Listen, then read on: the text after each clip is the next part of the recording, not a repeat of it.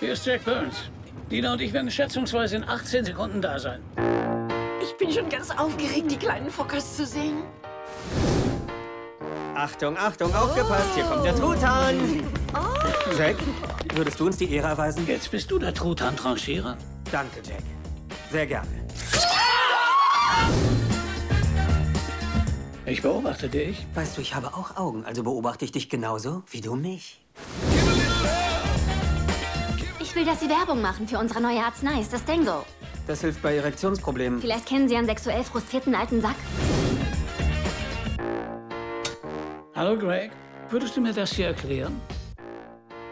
Jack, hast du etwa eine von diesen Pillen geschluckt? Was meinst du? Wenn das bereits länger als vier Stunden anhält, dann musst du ins Krankenhaus und eine Spritze kriegen. Ich werde auf keinen Fall mit so einem Ding ins Krankenhaus fahren. Du gibst mir eine Spritze und zwar sofort. Ich fühle mich nicht wohl dabei, wenn ich dir... Ich werde dir keine... Nein.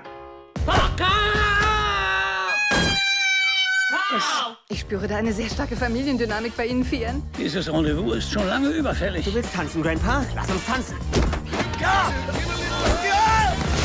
Give a little love. Go on, just do it. You can't abuse it. Jack? Jack? Sofort raus aus dem Bällebad! Raus aus dem Bällebad! Raus mit euch!